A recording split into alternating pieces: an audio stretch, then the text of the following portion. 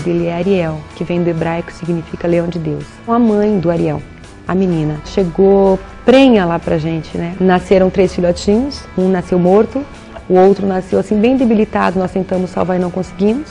E depois de quatro dias eu percebi que a, a mãe do Ariel, a menina, ela não voltava ao normal, não estava comendo bem e fizemos o ultrassom e a menina realmente tinha mais um filhotinho que era o Ariel e o coraçãozinho estava lá pulsando. Ele está com três anos de idade agora, acabou de fazer três anos de idade. Ele está dormindo, porque os leões são super dorminhocos.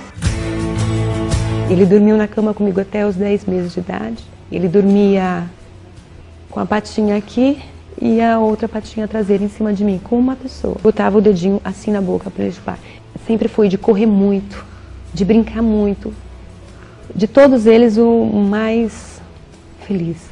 O Ariel começou é, a mancar de uma das patas depois de um dia de atividades intensas. No dia do aniversário dele, na verdade, estava brincando com algumas bolas, pulou para pegar uma dessas bexigas e caiu e começou a mancar primeiro de uma patinha, depois começou a mancar da outra até começar a ficar incoordenado e, e se arrastar. Começou a pesquisar o que o Ariel tinha e acreditou-se que era uma hérnia de disco ou alguma lesão na medula. E aí fez uma cirurgia de descompressão, mas depois da cirurgia ele não teve o progresso que a gente esperou que ele tivesse. Então a gente começou a procurar é, ajuda de outros profissionais fora do Brasil, pessoas que realmente entendessem de leões. A gente descobriu essa neurologista Mirav Shamir, de Israel, que já tratou de diversos leões que tinham um quadro clínico muito parecido com o do Ariel. A gente quer ter bastante certeza do que a gente está fazendo antes de começar um tratamento realmente.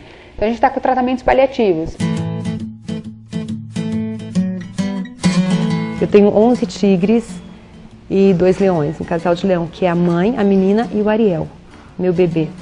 E a gente mantém eles, nós temos uma empresa o ano passado nós abrimos o Instituto Emanuel, que é um instituto que vai nos ajudar podendo receber doações é, em dinheiro para que a gente possa mantê-los bem alimentados, tratados, enfim, tudo que, todas as necessidades deles.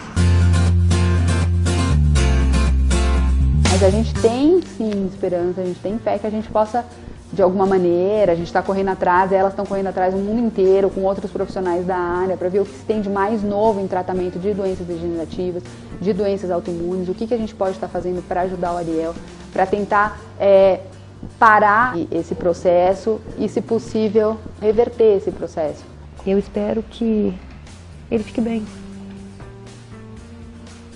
Eu espero realmente que ele